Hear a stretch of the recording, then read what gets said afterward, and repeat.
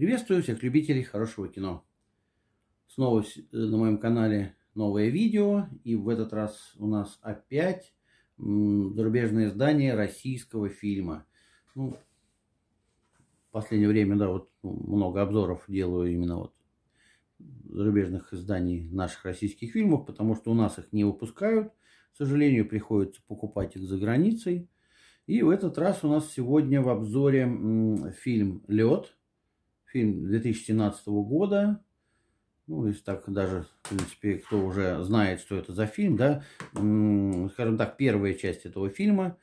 Э, в главных ролях Александр Петров, Аглая Тарасова, Милош Бикович. Вот, достаточно популярные нынче у нас стали все эти актеры, да. Ну, особенно там Петров, Бикович, наверное, даже пораньше были популярными, да. Ну, постепенно и Тарасова тоже стала более известной. Благодаря этому фильму, я думаю, тоже.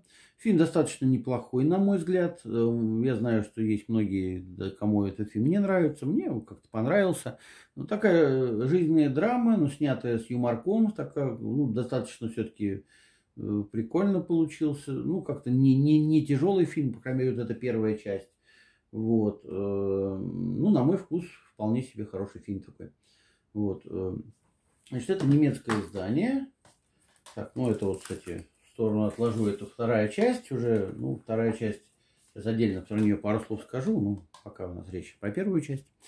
Вот, итак, это э, диск немецкий, ну, немецкая русская дорожка и немецкие субтитры субтитры отключаемые. И главное, что диск э, не залочен на зону B, то есть он как минимум BC.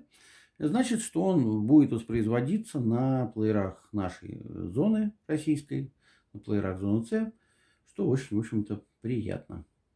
Вот. Э, что, значит, еще бы хотелось сказать про этот фильм, ну, про этот диск? Ну, э, так, ну, есть небольшое количество допов, там буквально пару допов и ролик.